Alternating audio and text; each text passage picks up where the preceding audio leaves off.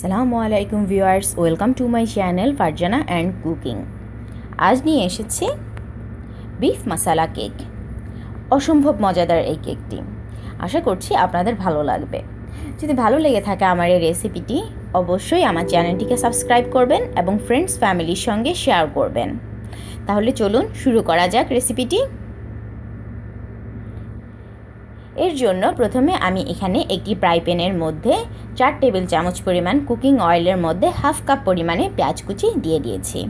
আরও দিয়ে দিলাম এক টেবিল চামচ রসুন কুচি। এক টেবিল চামচ পরিমাণে আদা বাটা। হাফ কাপ পরিমাণে টমেটো কুচি। এবার দিয়ে দিচ্ছি কাঁচামরিচ। ঝালটা কিন্তু আপনারা আপনাদের পছন্দ মতোই দিবেন। আমার ঝাল একটু বেশি ভালো লাগে, তাই আমি একটু বাড়িয়ে দিলাম। এবার এর মধ্যে আমি দিয়ে দিব জিরে পাউডার, এক চা চামচ। এবার দিয়ে দিব গরম মশলা, এক চা চামচ। এবার দিয়ে দিচ্ছি মূল উপকরণ বিফ কিমা।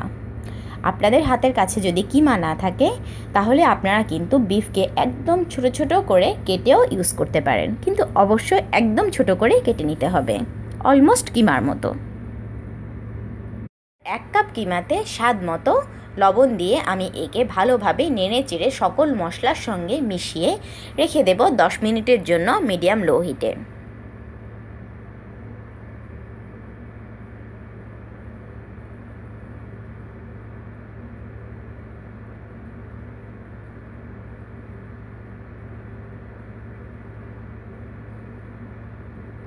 ফিরে এলাম দশ মিনিট পর।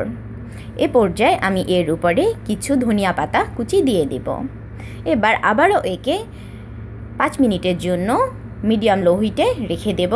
মাংসের কিমাগুলো সিদ্ধ হওয়া পর্যন্ত। ততক্ষণে কিন্তু আমাদের কিমাগুলো সিদ্ধ হয়ে যাবে। কিমা সিদ্ধ হয়ে গেছে, এবার একে নামিয়ে রাখব। অন্যদিকে একটি মিক্সিং বলের মধ্যে আমি নিয়ে নিচ্ছি তিন থেকে চারটি ডিম। এখানে আমি তিনটি ডিম নিচ্ছি কারণ আমার এখানে যে ডিমগুলো আছে, ওগুলো একটু বড় বড়। আপনাদেরগুলো যদি ছোট ছোট হয়, তাহলে অবশ্যই চারটে নিতে হবে।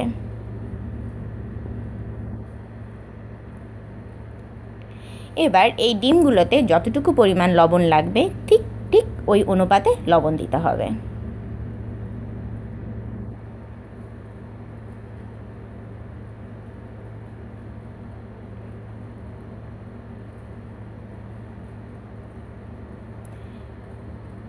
এবার দিয়ে দিচ্ছি দুই টেবিল চামচ ময়দা।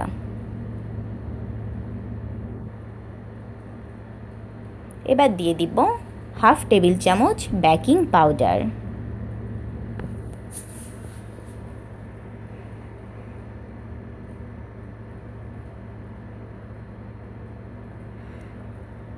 এর সঙ্গে আরও দিয়ে দিচ্ছি কিছুক্ষণ আগে তৈরি করে রাখা বিফ কিমাগুলো।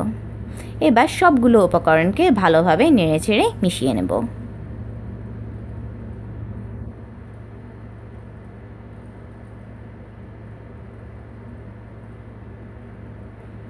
সবগুলো উপকরণ মিশিয়ে এবার আমি একে সিলিকন মোল্ডের মধ্যে নিয়ে নিচ্ছি।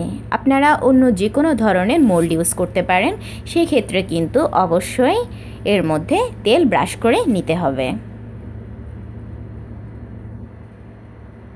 এগুলো নেওয়া শেষ। এবার আমি এর উপরে কিছু লাল এবং হলুদ ক্যাপসিকাম দিয়ে দিচ্ছি।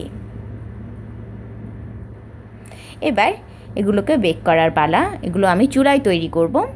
এজন্য আমি একটি ফ্রাই প্যানের মধ্যে একটি পাতিল বসানো স্ট্যান্ড দিয়ে এর মধ্যে যে ছিদ্রিটি আছে তা বন্ধ করে প্রথমে 10 মিনিটের জন্য গরম করে নেব। 10 মিনিট পর এর মধ্যে আমাদের বিফ কেকগুলোকে বসিয়ে দেব। এবার একদমই লো হিটে একে আমি রেখে দেব প্রায় পঁচিশ মিনিটের জন্য। ফিরে এলাম পঁচিশ মিনিট পর। এবার আমি একটি টুথপিক দিয়ে জাস্ট টেস্ট করে নিচ্ছি এগুলো কি হয়ে গেছে নাকি। যেহেতু টুথপিক একদম ক্লিন বের হচ্ছে, এর মানে হচ্ছে আমাদের কেকগুলো একদম রেডি তৈরি হয়ে গেছে মজাদার এই beef masala cake beef masala কেকটি কিন্তু অবশ্যই বাসায় ট্রাই করবেন।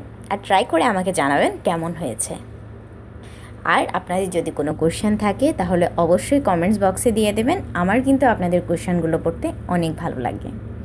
তো আজকের জন্য আল্লাহ হাফেজ। ভালো থাকবেন, সুস্থ থাকবেন, আমার জন্য দোয়া করবেন। ধন্যবাদ সবাইকে।